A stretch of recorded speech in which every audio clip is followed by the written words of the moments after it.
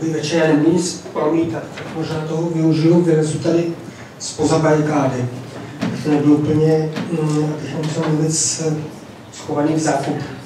E, ještě jednou dobrý večer.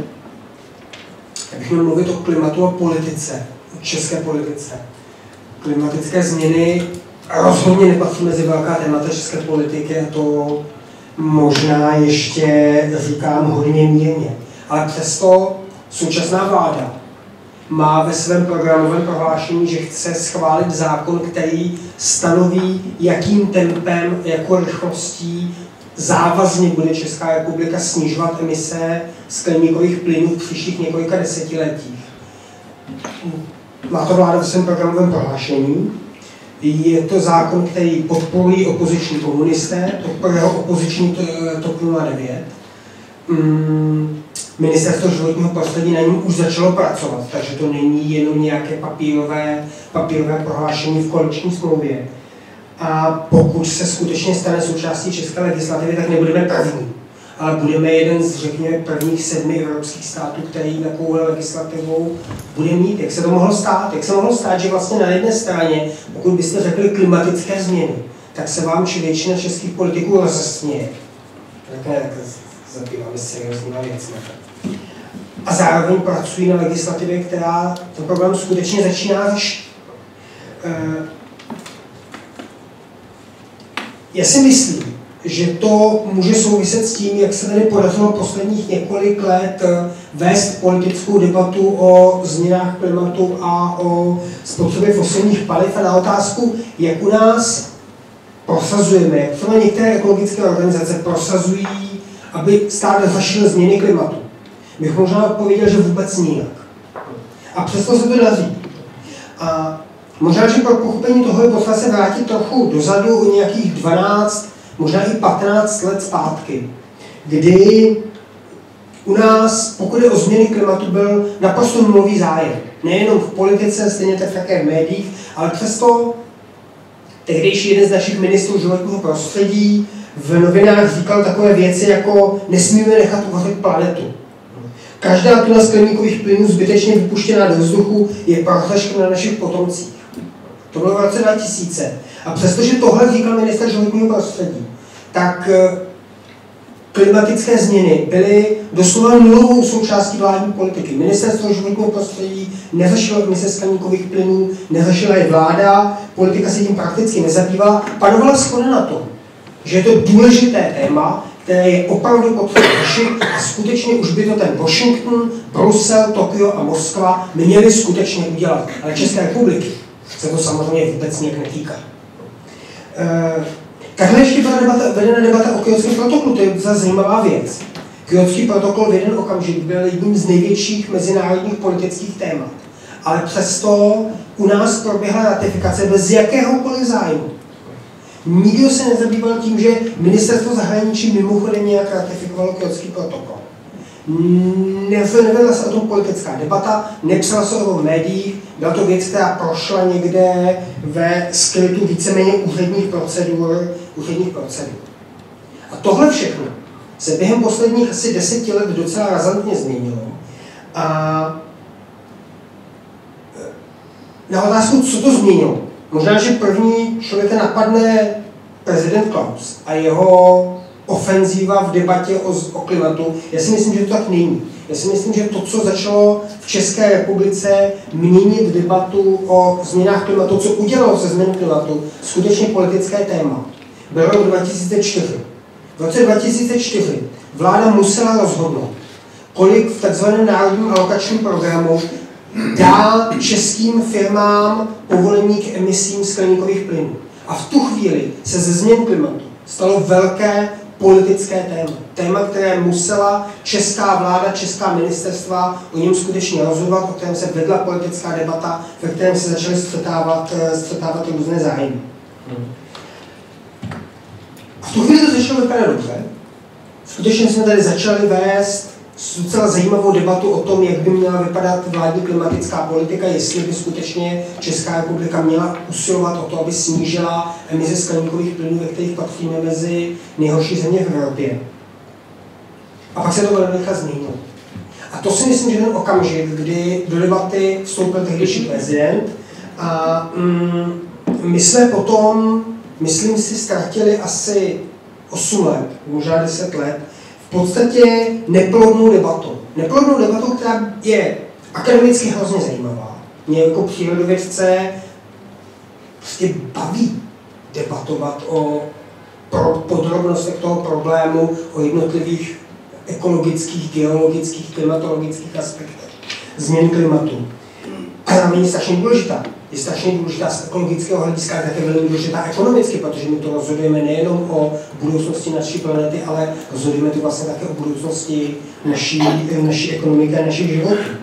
Ale zároveň pro podstatnou část společnosti ta debata je velmi vzdálená je nesrozumitelná a je neskutečně zamotaná. Je vzdálená nejenom proto, že mm, se tu řeší, jak by vypadat planeta v roce 2090 a přitom většina lidí žije v Praze, nikoliv na planetě, v roce 2014. Mm, ale také proto, že to není jediná krize, kterou náš současný svět řeší a mm, řada lidí se to bylo to prostě neorientuje. No. E, někdo se vyzná ve změnách klimatu, třeba Ivona a já. Někdo se vyzná v rezistenci na antibiotika.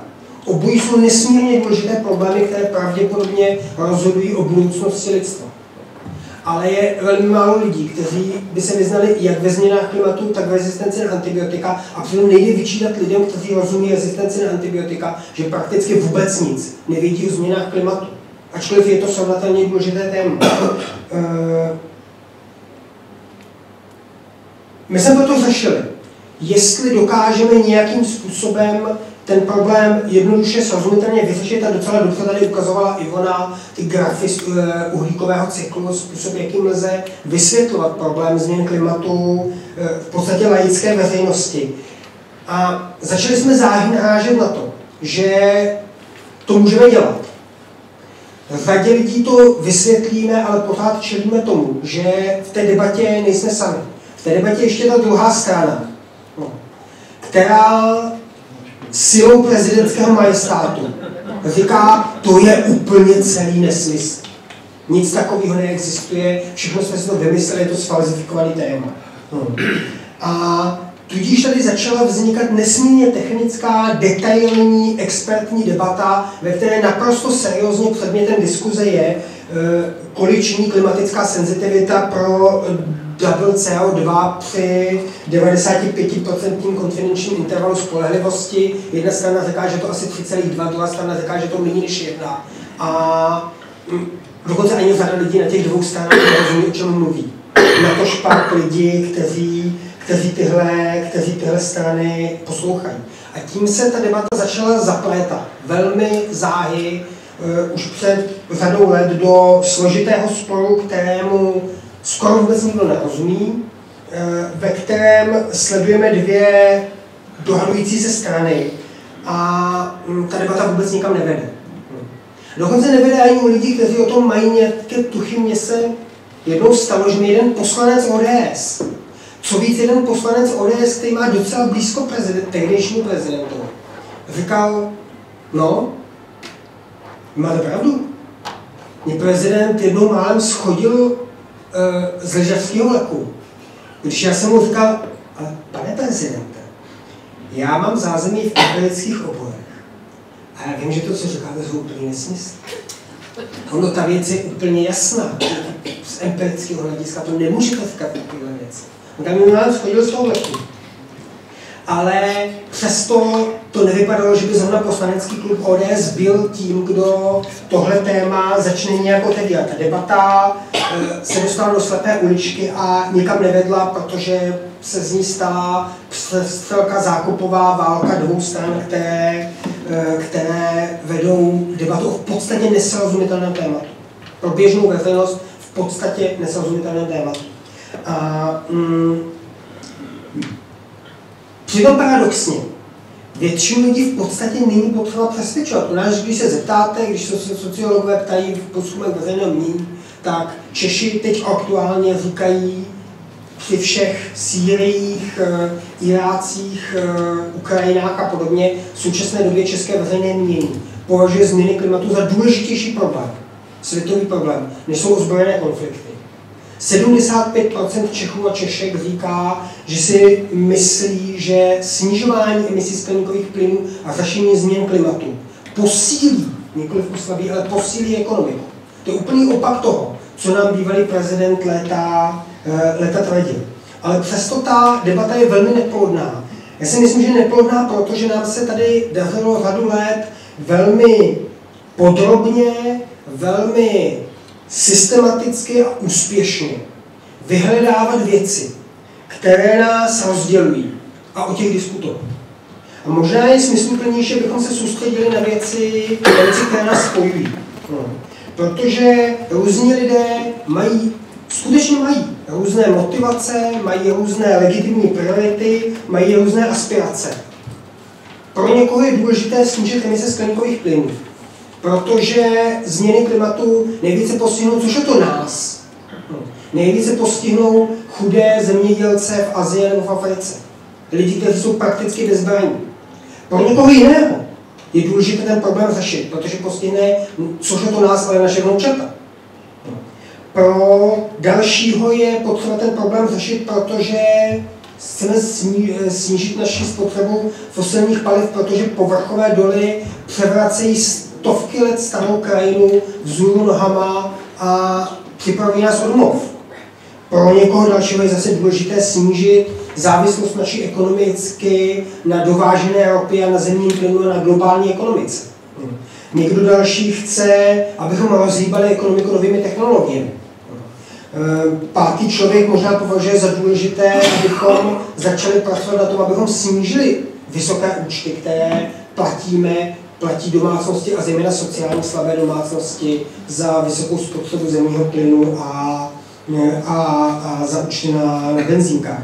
Pro někoho dalšího je důležitá, což je to nějaká ekonomika, ale vlastní osobní nezávislost na globální ekonomice. Nechce platit velkým firmám za to, že od nich odebírá zemní plyn nebo energii. A pro dalšího člověka to může být důležité, abychom konečně začali řešit problém smogu, kvůli kterému se stovky tisíc lidí každou zimu v různých českých městech a obcích doslova dusí s znečištěným vzduchem. Můžeme mít různé motivace, různé aspirace a různé priority. Ale všichni tihle lidi se můžou shodnout na tom, že potřebujeme začít pracovat na tom, abychom snížili naši závislost na fosilních palivech. Rok po roku, krok po kroku začali postupně se zbavovat závislosti naší ekonomiky na uhlí, ropě a zemního plynu. A potom možná má smysl skončit s tou nepříliš plodnou a zbytečně vyhrocenou debatou o tom, co udělají nebo neudělají s naší budoucností fosilní paliva. A začít se spíš bavit o tom, jak bychom se mohli společně fosilních paliv zbavovat ve chvíli, kdy na tom, že bychom se jich zbavovat chtěli, v zásadě není nějaký velký spor. Proto si myslím, že se podařilo do programu téhle vlády i s podporou opozice dostat zákon, který bude pracovat na snížení emisí skleníkových plynů, ale to se v podstatě rovná snížení závislosti na fosilních palivech a může to být důležité i pro lidi, kteří skleníkové plyny nepovažují za úplně důležitou věc. Proto se podařila zelená úspora. Zelená úspora byla v podstatě obrovský úspěch.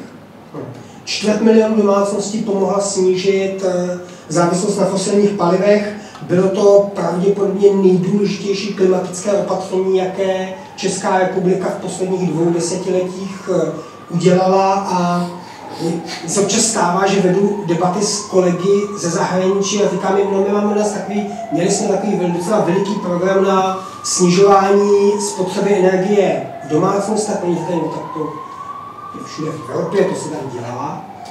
Česká vláda na něj dala, čtvrt, na něj dala miliardu euro. Cože? Hm. Rakušáci, Rakušáci, docela bohatá země, zhruba stejně veliká jako Česká republika, se nám chlubili, že se skutečně podařilo velký úspěch. Oni prosadili, aby rakouská vláda dala na snižování, na zateplování domů 250 milionů euro. No, to je čtvrtina zelené úspora. Čtvrtina první zelené úspora. Um, a dneska vláda, tahle vláda i ostatní politické strany uvažují o tom, kdyby sehnali peníze na pokračování zelené úsporám, protože si ten program e, líbí a já si myslím, že to do jisté míry důsledkem toho, že když došly peníze na první zelenou úsporám, tak my jsme tehdy začali dávat dohromady takovou alianci nejrůznějších organizací, která by prosazovala, aby stát dal další peníze do pokračování toho programu, aby e, podpora zateplování domů nezahynula a mohla pokračovat. A naprosto záměrně jsme namísto toho, abychom postavili vedle sebe pět ekologických organizací, které by společně říkali, zašte změny klimatu, dejte peníze na pokračování zeleným, zelené úsporám, začali hledat úplně jiné typy organizací. Viděli jsme takovou alianci, kterou tvořilo hnutí Blaha. Um, Konfederace zaměstnavatelských a podnikatelských svazů, stavební lobby, lobby stavebních firm, odbory, mm, svaz bytových družstev a e, svaz města obcí. Žádná z těch organizací nemá schodný důvod, proč podporovat zelenou úsporu, ale všichni se můžou shodnout na tom, že chtějí, aby se zateplovaly domy. Někdo protože chce snižovat emise skleníkových plynů, jiný protože chce rozhýbat stavební výrobu a vytvořit nová pracovní místa, další protože chce posílit ekonomiku, třetí protože chce zateplovat bytové domy, čtvrtí protože chce zateplovat obecní domy. Ale všichni se můžou shodnout na tom, že by ten program měl pokračovat, shodli se a díky tomu se podařilo prosadit, aby stát hledal další peníze investoval do pokračování zelené úsporám, díky tomu ten program, díky tomu ten program dál běží. Eh, to je jeden příklad. Druhý příklad, který si myslím, že se na ní stojí za to dívat, je rostoucí zájem ve společnosti o něco jako skutečná nezávislost na velkých energetických firmách. To je věc, která tady nějak přišla s ekonomickou krizí. Eh, tady se vždycky říkají v podstatě racionální důvody, proč bychom měli řešit eh, naše závislost na fosilních palivech. A zajímavé je, že víc a víc lidí ve společnosti mm, chce zateplovat domy, instalovat si na střechy solární kolektory, vyrábět si třeba i svoji vlastní elektřinu ve fotovoltaických panelech, nikoliv proto, že by chtěli třeba bezprostředně snížit účty za elektřinu, za energii, ačkoliv i to je pro ně důležité. Ale protože víc a víc lidí prostě jednoduše štve. Fakt štve. To, že jsou závislí na velkých energetických firmách a že si můžou vybrat mezi tím, jestli budou platit Česu nebo EONu jestli budou platit EONu nebo RVE za plyn. Ale nemůžu se vybrat, jestli se zbaví závislosti na velkých energetických společnostech. Chtějí se téhle závislosti zbavit a hledají příležitosti, jak to udělat. A už to není jenom otázka účtu, které platíme za energii každý měsíc, ale víc a víc je to otázka e, nezávislosti na globální ekonomice, na velkých firmách, které soustavně zvyšují ceny za fosilní paliva a lidem to vadí. Si myslím, že tohle jsou příležitosti, které by mělo smysl využít a začít pracovat na tom, abychom se spíš než vést dlouhou, nepříliš plodnou debatu o tom, co nám v budoucnosti způsobí naše závislost na fosilních palivech. Začít pracovat na tom, abychom se závislosti na fosilních palivech začali zbavovat, protože na tom se zdá se můžeme docela úspěšně shodnout. Děkuji.